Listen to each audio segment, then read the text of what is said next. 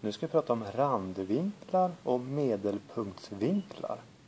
Men vad innebär det att man har en randvinkel respektive en medelpunktsvinkel? Ja, då ska vi ta en cirkel till hjälp eftersom en cirkel har en rand och en medelpunkt. Och det innebär att om vi har en vinkel på randen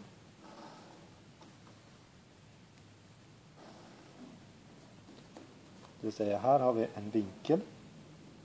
Den kallar vi för R. På den här randen. Då är R en randvinkel.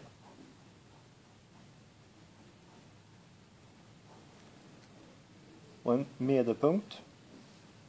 Om vi då drar ut den så vi får en vinkel.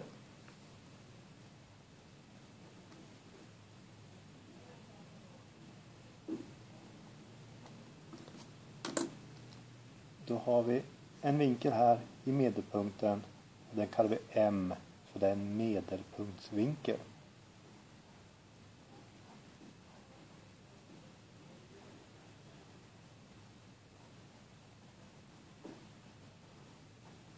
Och vi ser att randvinkeln och medelpunktsvinkeln de bildar samma cirkelbåge. Det vill säga bågen som går från det hörnet till det hörnet. Det här är då en cirkelbåge och där har vi randvinkeln och medelpunktsvinkeln. Nu är frågan, finns det något samband mellan randvinkel och medelpunktsvinkel? Ja, vi ska kolla. Här har vi den cirkel. Här är medelpunkten. Och här har vi randen. Och här har vi en vinkel. Så det här är en randvinkel. Här har vi medelpunkten och en vinkel. Här har vi en medelpunktsvinkel. Vi ska nu mäta hur stor randvinkeln är.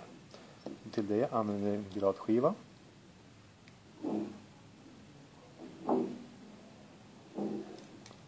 Så då har vi att här är 0 grader och så mäter vi ut 30 grader. Så randvinkeln är 30 grader. Hur stor är då medelpunktsvinkeln? Då tvättar vi och kollar hur stor medelpunktsvinkeln är. Och vi ser att den går från 0 till 60. Så medelpunktsvinkeln är 60 grader. Och så noterar vi då att både randvinkeln och medelpunktsvinkeln bildar samma cirkelbåge. Så den är 60, den är 30. I det här fallet är medelpunktsvinkeln dubbelt så stor som randvinkeln. Så har vi hittat ett samband nu Ja, det kanske är svårt att säga. Så det kan vara bra om vi tar ytterligare en cirkel. Här är vår cirkel. Och här är vår medelpunkt. Och då har vi en vinkel här. En medelpunktsvinkel. Här har vi en vinkel på randen. Randvinkel. Så nu mäter vi då hur stor randvinkeln är.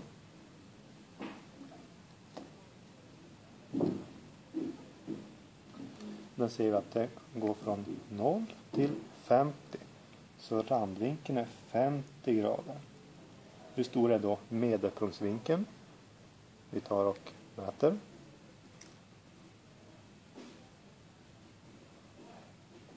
Och ser att den går från 0 till 100. Så i det här fallet är medelpunktsvinkeln 100 grader. Och så ser vi att både randvinkeln och medelpunktsvinkeln bildar samma cirkelbåge. Och även här är medelpunktsvinkeln dubbelt så stor som randvinkeln. Så det verkar som att vi har hittat ett samband. Och det samband vi hittar det kallas för randvinkelsatsen. Och vad säger den då? Jo, den säger precis det vi kom fram till. I en cirkel är medelpunktsvinkeln dubbelt så stor som randvinkeln på samma cirkelbåge. Och det är viktigt att notera.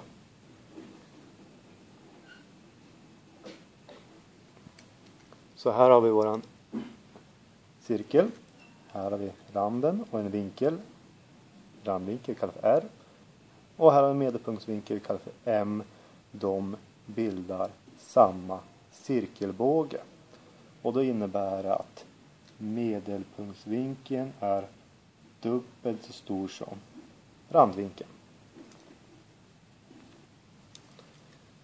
Så nu vet vi vad randvinklar och medelpunktsvinklar är och vi vet vad det är för samband mellan dem. Då ska vi ta några exempel. Första, vi ska bestämma vinklarna x och y. Och då har vi följande figur. Det var en cirkel. Här har vi en medelpunkt. Och sen har vi då två stycken vinklar här. Som då är två stycken randvinklar och en medelpunktsvinkel. Och vi ska bestämma vinkel x och vinkel y. Och den här randvinkeln, den vet vi den är 35 grader. Den ser vi bilda samma cirkelbåge som medelpunktsvinkeln y. Och då har vi att y, det vill säga medelpunktsvinkeln, är dubbelt så stor som randvinkeln om de bildar samma cirkelbåge. Och då gör de här. Alltså måste y vara 70 grader på grund av att vi har randvinkelsatsen.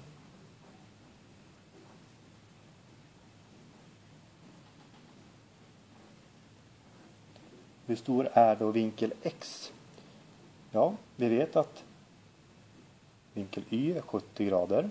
Den medelpunktsvinkeln bildar samma cirkelbåge som den här randvinkeln x. Så det innebär att y måste vara dubbelt så stor som x. Eller om vi vill, x är hälften så stor som y. Så x är då lika med 35 grader. Och det är då på grund av att vi har randvinkelsatsen.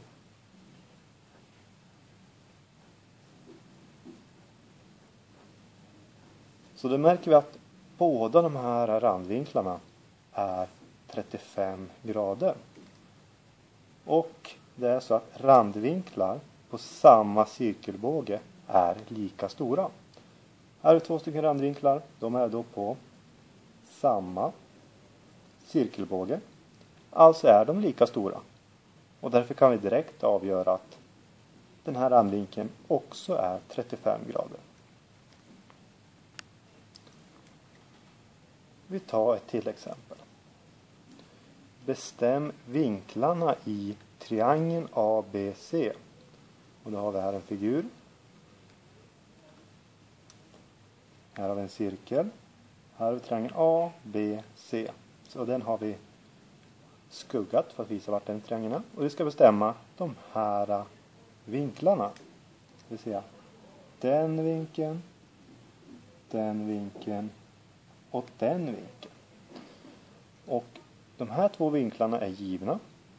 Om vi utgår ifrån den här vinkeln som är 40 grader, det är en randvinkel. Så vi kan följa den ut hit och hit. Så här har vi en cirkelbåge. Den här cirkelbågen bildas även, om vi följer de här, av den vinkeln. Det här är ju vinkeln ABC. Så vi har ett vinkel A, B, C. Den vinkeln. Och den här vinkeln som är 40 grader. Det är två stycken randvinklar som bildar samma cirkelbåge. Och då vet vi sedan tidigare att då är de randvinklarna lika stora.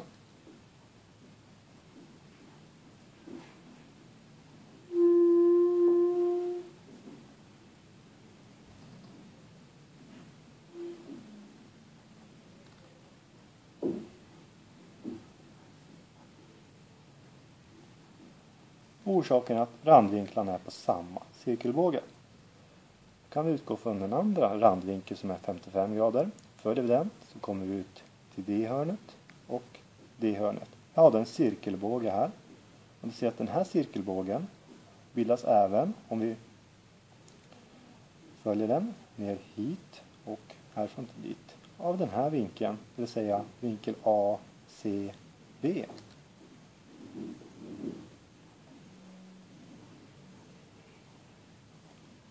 Så vinkel ACB bildar den här cirkelbågen. Vilket även den här randvinkeln gör. Så det var två stycken randvinklar som bildar samma cirkelbåge. Då måste de vinklarna vara lika stora. Så även den vinkeln är 55 grader eftersom randvinklar på samma cirkelbåge är lika stora. Så nu vet vi de två vinklarna i triangeln. Då ska vi ta reda på den här vinkeln. Och den kallar vi då för vinkel BAC. Och eftersom vi redan känner till två stycken vinklar så kan vi använda triangelns vinkelsumma. Som säger att summan av alla vinklar i en triangel är 180 grader. Så vi tar 180 grader och så drar vi bort de här två vinklarna från det. Då måste vi få den vinkeln kvar.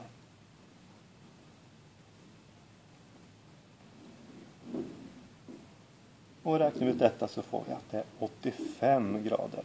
Och det här har vi fått från triangelns vinkelsumma.